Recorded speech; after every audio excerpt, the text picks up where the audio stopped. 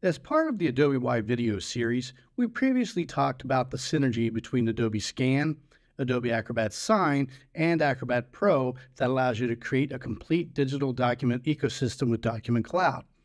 They each have their own respective roles in this ecosystem overall, and although there is some overlap in their capabilities, where the functionality of Acrobat Pro ends, Adobe Acrobat Sign's power begins.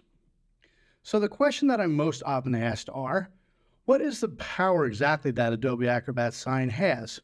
And why would I want to utilize Acrobat Sign when Acrobat Pro does mostly what I need? And why would I want to make any changes to my workflows? And these are really good questions. The answer lies in the benefits of Adobe Acrobat Sign's integrations. So the question that's answered in this video series is, why integrate?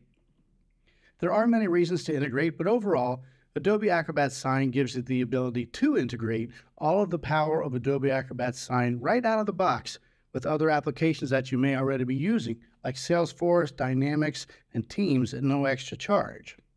And the benefits here can be massive, from creating workflow efficiencies to generating consistency across your departments to working in environments that you're already familiar with.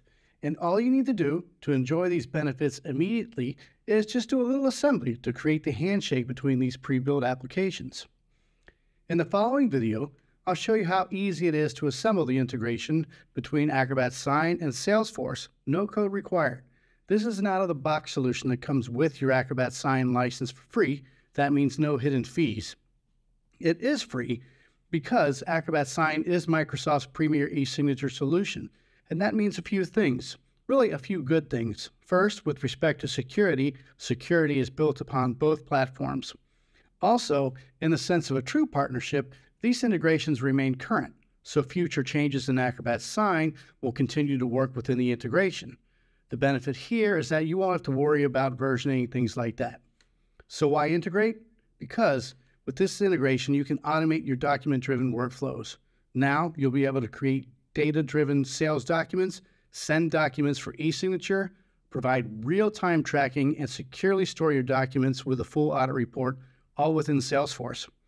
And the benefits here are many, from increasing employee productivity to keeping all agreements secure to an enhanced user experience overall, all contributing to efficiently moving your business forward. Let's take a look. Setting up your integration with Acrobat Sign with Salesforce is really simple. Just a few step process. You don't need a gigantic manual to do it, just these following steps. The first thing that you want to do is make sure that you have both a Salesforce account and that you are an administrator of your Acrobat Sign account. Now you only have a few steps to set up this integration. First, you need to come here to the Salesforce App Exchange to get the Acrobat Sign application package so that you can install it. So just come in to top up here and key it in, and then you'll see it pop up right away.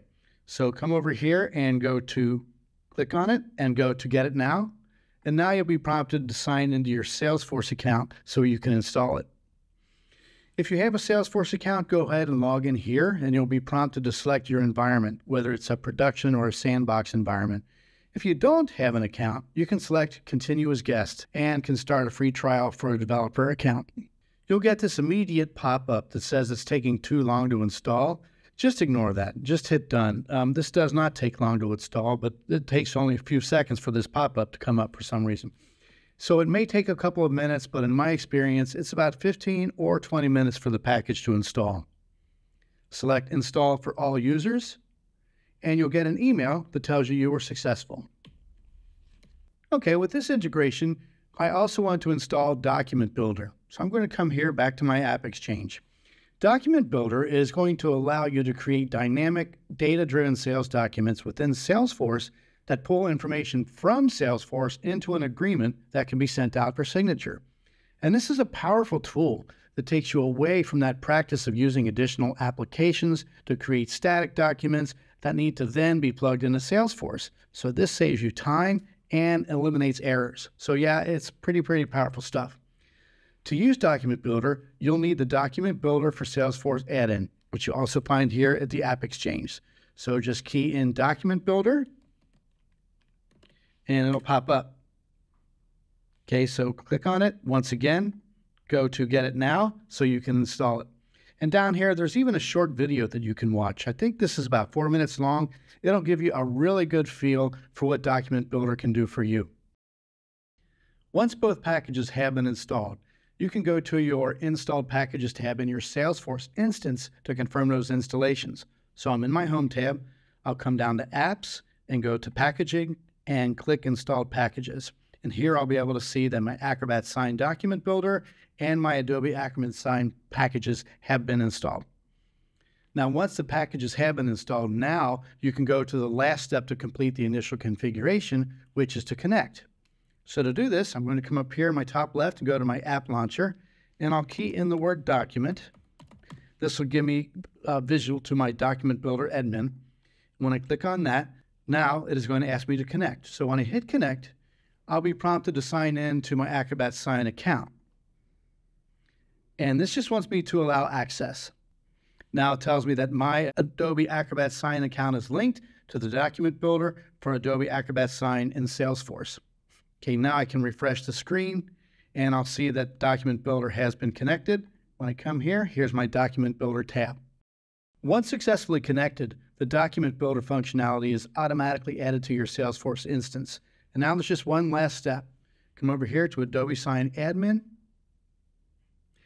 and I want to come over here and it says here that it's linked to alexpage3816 at Gmail. That's my Acrobat Sign account. And now it also has my callback user. So you want to make sure that those two are linked. So those are the basic steps. And now setup is complete.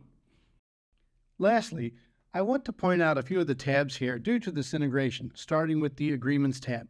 This will show you all of your agreements that are in Salesforce. Under Manage Agreements, this is essentially your UI with Acrobat Sign. So this is where all of your documents are going to live.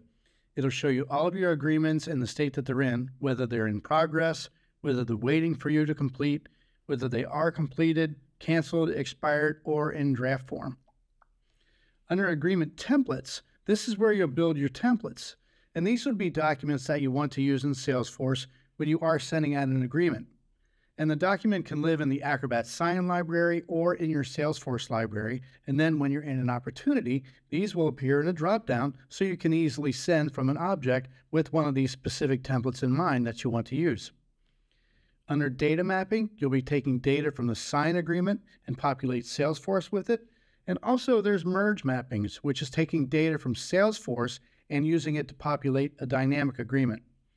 And then all the way under the More tab at the end, you're going to see the Document Builder. And lastly, on the far, far right, if I click on this little tiny pencil, I can change my navigation to the way that I want it. Okay, so that's your setup. Pretty easy setup. In the next video, I'll show you how to put this powerful integration to use, and you'll know why integrate.